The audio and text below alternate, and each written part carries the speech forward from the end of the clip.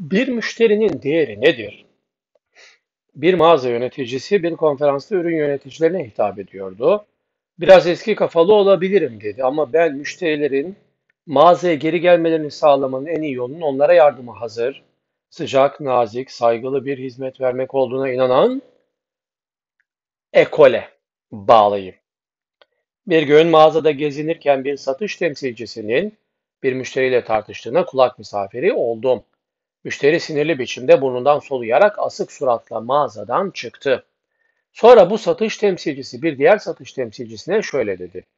1.98 dolarlık bir müşterinin bütün zamanımı almasına ve istediği şeyi bulmam için mağazanın altını üstüne getirmeye beni mecbur etmesine izin verecek değilim.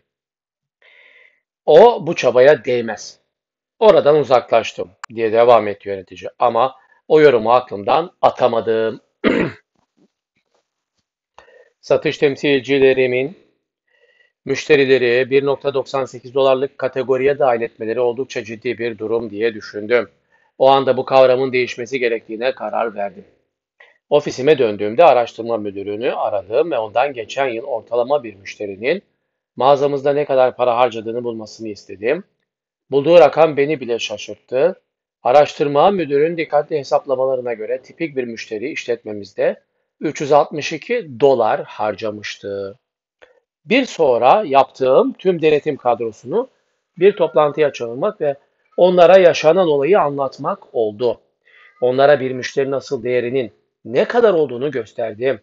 Bir müşterinin tek bir satışla değil, yıllık toplam alımları temelinde değerlendirilmesi gerektiğini görmelerini sağladığımda müşteri hizmetleri kesinlikle gelişme kaydetti.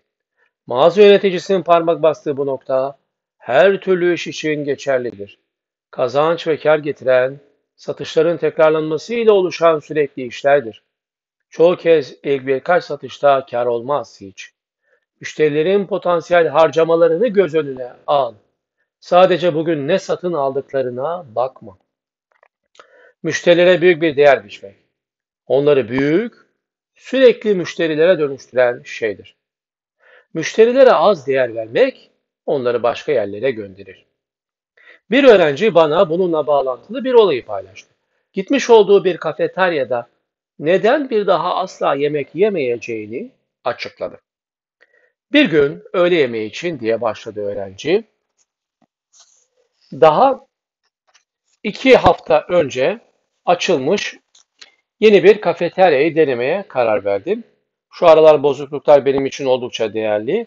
O yüzden nereye para harcadığıma çok dikkat ediyorum. Tepsiyle yemek bölümünden geçerken biraz hindi ve yanında sos gözüme güzel göründü ve üzerinde yalnızca 39 sent yazıyordu.